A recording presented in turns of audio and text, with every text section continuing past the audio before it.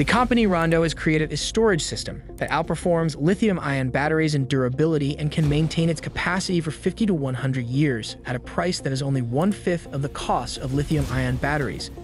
This is not just a sensational claim, the system is already on the market, fully developed and ready for use. It is expected to make energy storage profitable in many areas and is one of the most promising technologies of recent years. In comparison to other similar storage systems, Rondo's technology has a clear advantage, which we will explain further. While lithium batteries are the preferred energy storage technology, due to their durability, cycle life, and energy density, they are not always the most suitable option. In transportation, where gravimetric energy density is critical, lithium is essential.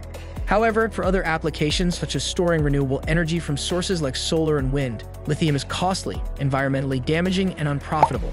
As the US transitions to 100% renewable energy, we require large-scale storage that can handle surpluses and deficits in energy supply. Flexibilizing renewable energy sources is a massive undertaking. Excess energy that cannot be used is often simply wasted, although it could provide electricity to numerous households. One solution to this is the conversion of surplus electricity into heat, which can then be used in industrial processes and for heating homes, saving gas, coal, and especially money. Rondo has developed a storage system that fills this niche by storing excess energy in a form of heat. Although there are already many thermal storage systems available, this video makes it clear what makes the system by Rondo so special.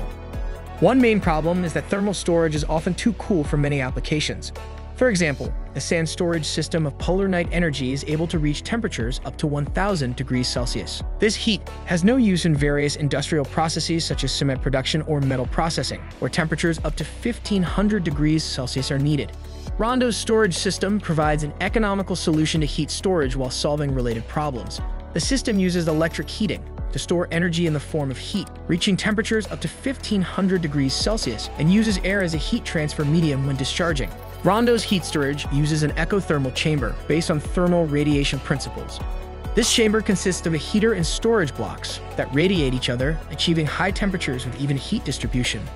This allows for consistent performance even with irregular energy supply. However, the storage's efficiency of just under 98% and 12-hour hold time without new heat supply are limitations, the storage's short hold time is still impressive for heat storage at these temperatures, made possible by an air system in a double-wall system rather than special insulation. Air circulates around the storage, absorbing and returning heat, maximizing its efficiency.